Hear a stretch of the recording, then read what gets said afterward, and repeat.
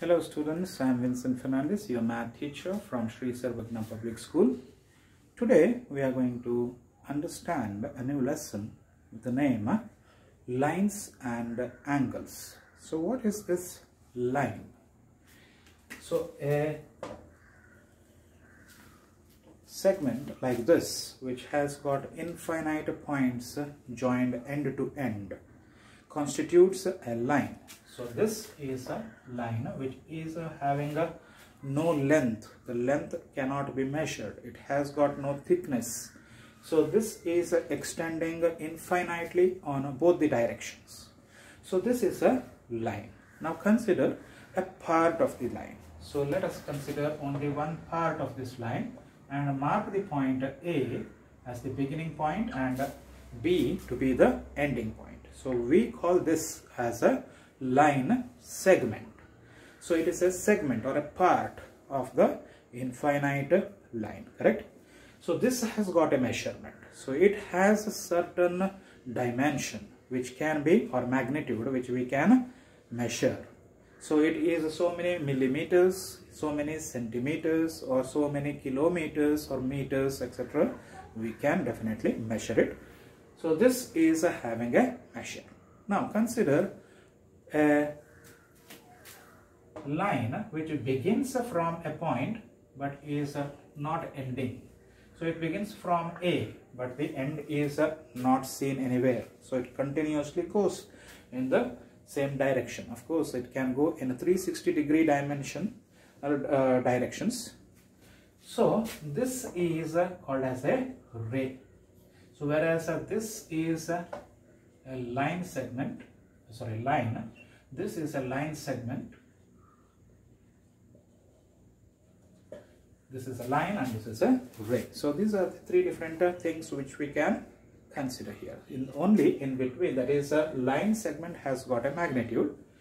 Line does not have any magnitude. It is uh, having infinite length.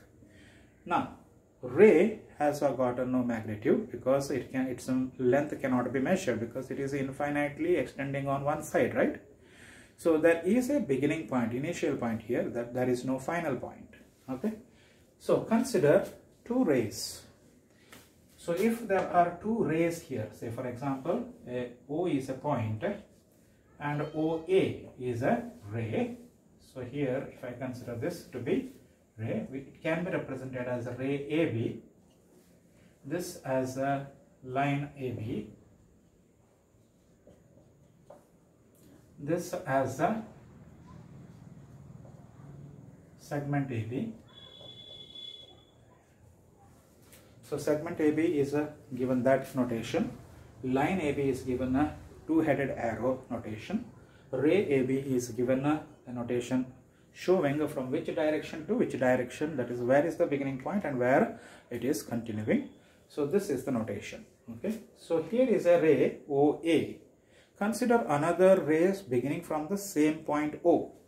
So this is a, another let us call this as ray OB okay.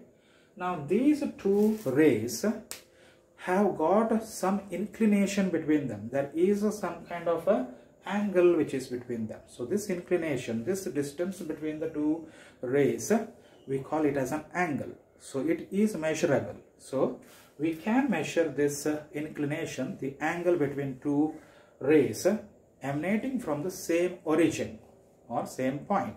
So this is uh, having suppose 35 degrees.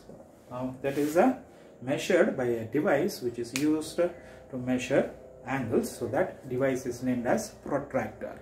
So we can use a protractor keep it on the initial point and the straight line on the base. The other line shows in which how many degrees it is inclined.